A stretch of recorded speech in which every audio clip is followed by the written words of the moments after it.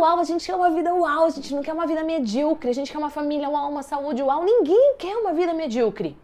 A gente pode até se contentar com algumas coisas, mas não é isso. Eu não tô aqui para trazer um conteúdo medíocre para você, eu tô aqui para trazer um conteúdo uau, um conteúdo embasado cientificamente para te ajudar. E então, como é que você pode identificar se você está se auto-sabotando? Olha aqui nos meus olhos. Você está se auto-sabotando.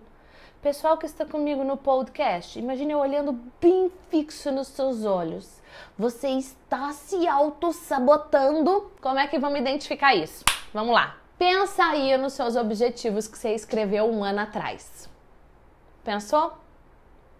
Você alcançou todos eles? Todos os seus objetivos você alcançou?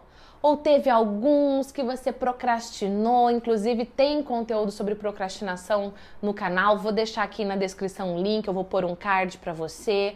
Você alcançou os objetivos ou você procrastinou?